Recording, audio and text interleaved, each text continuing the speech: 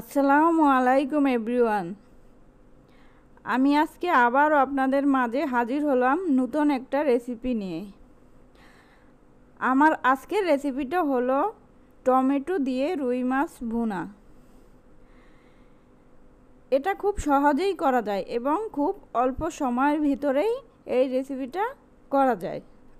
আপনারা যারা নতুন রাঁধুনি আছেন, তা, তাদের অবশ্যই হেল্প হবে। চলুন দেখে নেই আজকের রেসিপিটা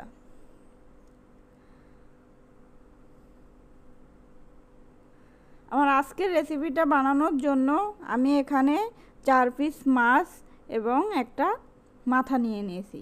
আমি এখানে রুই মাছটা নিয়ে নিয়েছি। আপনারা চাইলে একই প্রসেসে অন্য যে কোনো মাছ নিয়ে নিতে পারেন। আর এখানে দেড় চা চামচ মরিচ গুঁড়ো, এক চা চামচ হলুদ গুঁড়ো হাফ চা চামচ ধনে ও জিরে গুঁড়ো নিয়ে নিয়েছি। আর এখানে পেঁয়াজ এবং রসুন স্লাইস করে কেটে নিয়ে নিয়েছি। আমি এখানে পেঁয়াজ পেস্ট করে দিব না। কোনো বাটা মশলা আমি ব্যবহার করব না। আর এখানে আমি মাছটাকে হলুদ মরিচ দিয়ে ভালো করে মাখিয়ে উল্টে পাল্টে ভেজে নিয়েছি। আপনারা এই ভুনা করতে গেলে অবশ্যই মাছটাকে আগে ভেজে নেবেন। এই পর্যায়ে আমি চুলায় একটা পাত্র বসিয়ে দিয়েছি। এইখানে হাফ কাপ পরিমাণ তেল ঢেলে দিয়েছি। আপনারা তেলটা আপনাদের পরিমাণ মতো ব্যবহার করবেন। এবার আমি পেঁয়াজ এবং রসুন কুচিগুলো দিয়ে দিলাম। এবার ভালো করে নেড়ে চেড়ে কষিয়ে নিতে হবে। খেয়াল রাখতে হবে যাতে পুড়ে না যায়। পেঁয়াজটা যদি পুড়ে যায় তাহলে রেসিপিটার স্বাদ আসবে না। আর আমি এখানে একটা টমেটো নিয়ে নিয়েছি। এভাবে করে কেটে। আপনারা চাইলে দুইটা নিতে পারেন। এই তো আমার পেঁয়াজটা প্রায় ভাজা শেষ।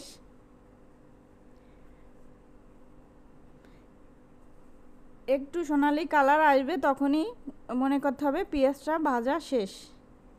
আমি পেঁয়াজের সাথে রসুনটাও দিয়ে দিয়েছি।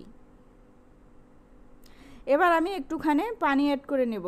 মশ, বাকি মশলাটা কষিয়ে নেওয়ার জন্য। কারণ শুকনো মশলাগুলো পানি না দিয়ে দিলে পুড়ে যেতে পারে। এই তো আমি সব উপকরণগুলো দিয়ে দিয়েছি। এবার আমি ভালো করে কষিয়ে নিব। এই মশলাটা যতটাই পারবেন কষিয়ে নেবেন। কারণ যত, কষাবেন ততই রান্নাটার ভালো স্বাদ চলে আসবে। এই তো আমার কষানো প্রায় শেষ। এবার আমি পরিমাণ মতো পানি দিয়ে দিব। এবার পানিটা কিছুক্ষণ গরম হতে দিব। পানিটা তখন গরম হয়ে আসবে, তখনই মাছগুলো ছেড়ে দিতে হবে। এই তো আমার পানিটা গরম হয়ে আসছে, এবার মাছগুলো ঢেলে দিব।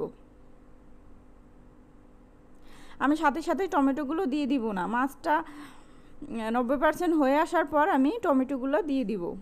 আমি মাছটার সাথে সাথে জমি, যদি টমেটোগুলো দিয়ে দিই তাহলে টমেটোগুলো একদম গলে যাবে।